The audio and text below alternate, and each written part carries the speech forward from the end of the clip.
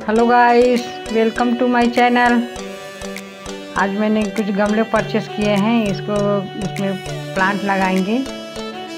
और ये गमले सिक्स पीसेस मैंने लिए है। इसको एक पीस का रेट फिफ्टी रुपीज़ पड़ा है।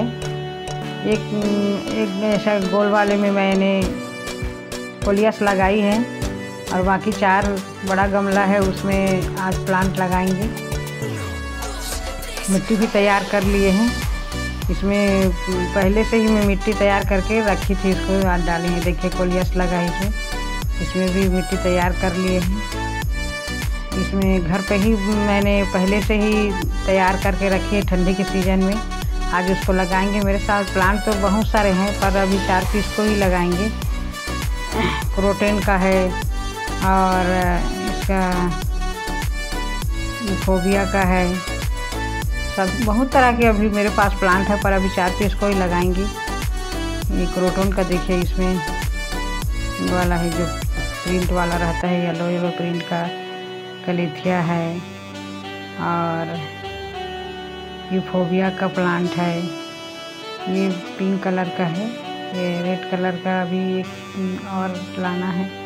इसको घर पर ही कटिंग तैयार की थी मैंने, इसी में वो लगा है। और एक मैं अपने फ्रेंड घर से लाई थी तो ये चाइना तारा है। ये बहुत ही सूख गया था। ठंडी के सीज़न में लाई थी और ला कर लगाई तो थोड़े दिन तो ठीक रहा, पर इसका पत्ती पूरी तरह से सूख गया था, पर उसका जो जड़ था ना, उसमें थोड़ा गीलापन था तो मैं इसको ज़मीन पे ही गड़ा दी थी। आज उसका पौधा से बहुत अच्छे पत्तियाँ निकल गई है साइड से। उसका तो बड़ी फंगी साइड जैसा हो गया है, साइड में उसका जो लगा है वो ख़राब हो गया है, फिर भी उसको प्लांट साइड से निकला है, बहुत अच्छा है। तीन पत्ती हैं, देखिए, चाइना तारा करके। बहुत सुंदर प्लांट है ये, इसका ग्रीनरी बहुत अच्छा होता है इसका। बहुत प्रिटी प्लांट है ये। और ये क्रोटोन का भी मेरे को बहुत पसंद आता है, इसका बहुत सुंदर दिखता है। ये येलो कलर का जो प्रिंट रहता है, इसको भी तैयार किए घर पर ही। ऐसा ही कटिंग ला करके इसको अपना कैरी बैग में लगा के रखे थे। ठंडी में तो आज अच्छा हुआ है, क्योंकि अभी बारिश का मौसम चल रहा है, बहुत जल्दी पकड़ लेगा पौधा ख़राब नहीं होता है बारिश में लगाने से। इसलिए मैंने सोचा बारिश का मौसम अच्छा है, लगाना चाहिए करके।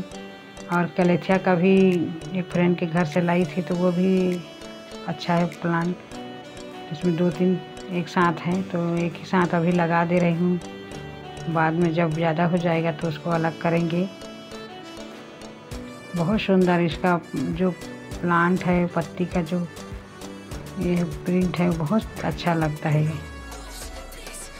इसको थोड़ा दबा दबा करके रखेंगे ताकि यार बाहर आ जाए। नीचे में सूखी पत्तियाँ हमने डाल दिए हैं। और ऊपर में जो खाद है उसको थोड़ा प्रेस करेंगे तो नीचे का हवा बाहर आ जाएगा। गैप नहीं रहेगा उसमें। और ये फोबिया का प्लांट है, ये पिंक कलर का है। इसमें नीचे में कांटे बहुत होते हैं इसके।